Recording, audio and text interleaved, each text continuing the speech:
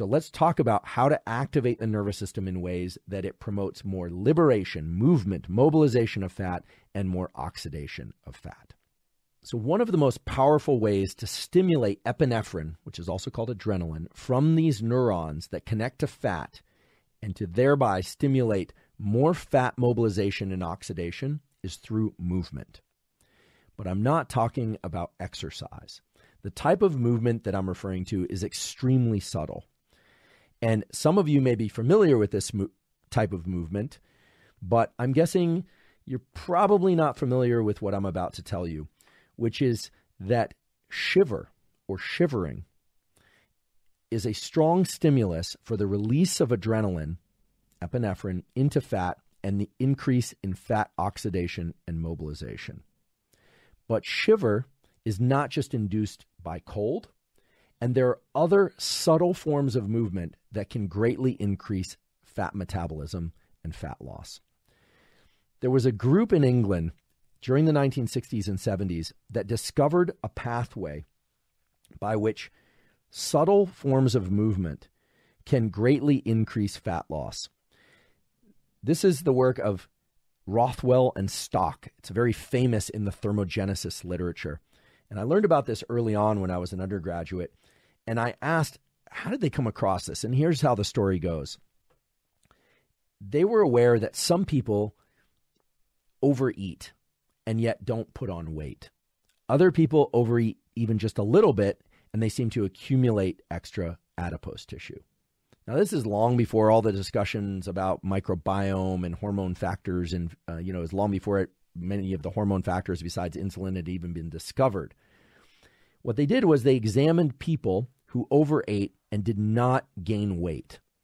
And what they observed was that those people engaged in lots of subtle movement throughout the day. In other words, they were fidgeters.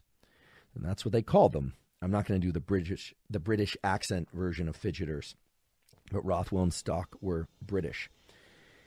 What they found were people that overeat but don't gain weight as a consequence. And in fact, many people who had low levels of body fat had a lot of resting tremor, not of the Parkinsonian type, but they would bounce their knee while they were sitting when they would talk, they would engage in very angular movements. They were sort of electric. In fact, now in science, I was chuckling about this as I was diving back into this literature because the other day I heard a, a wonderful lecture on a totally different topic from a colleague of mine, and we all adore him. Uh, he's over in Europe, and he's this tremendously successful scientist, so we like to poke fun at him. Uh, and every one of his movements is incredibly electric and staccato. And he's rail thin and he eats like a horse. And so it fits very well into the discovery of Rothwell and Stock, who discovered that fidgeters, people that bounce their knee, people that have a head bob while they're listening, people that nod a lot, people that stand up and sit down a lot throughout the day, and people that pace burn anywhere from 800 to 2,500 calories more than the, exp- the control group in the experiments that they looked at. And indeed, there's been a modern look into all this, and these numbers check out.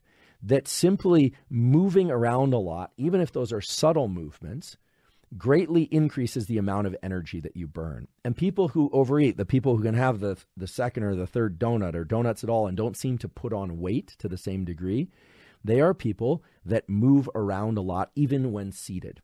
They're people that will often move their limbs very quickly as well. There even have been studies that have explored other things that correlate with fidgeters. Fidgeters stand up very quickly at the end of a lecture, or they start to gather their things very quickly, whereas non fidgeters don't. So, dogs like my bulldog Costello, definitely not a fidgeter. Every movement is incredibly slow and deliberate.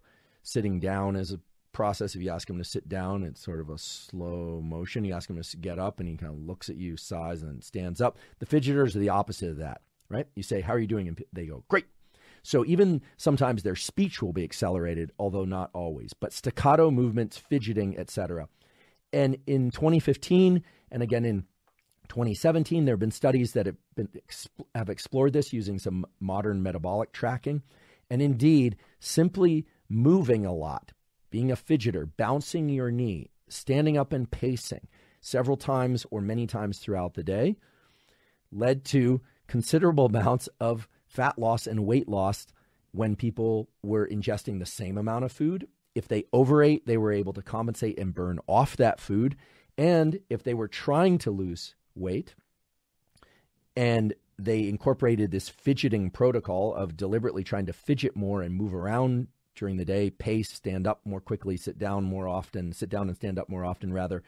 They found that they greatly increased their weight loss, anywhere from 20 to 30% increases. And in some cases, you know, there are the, always those few people who burned a lot more. It seems to work best in people who are already slightly overweight. So for people that are overweight who are kind of averse to exercise, fidgeting might actually be a good entry point.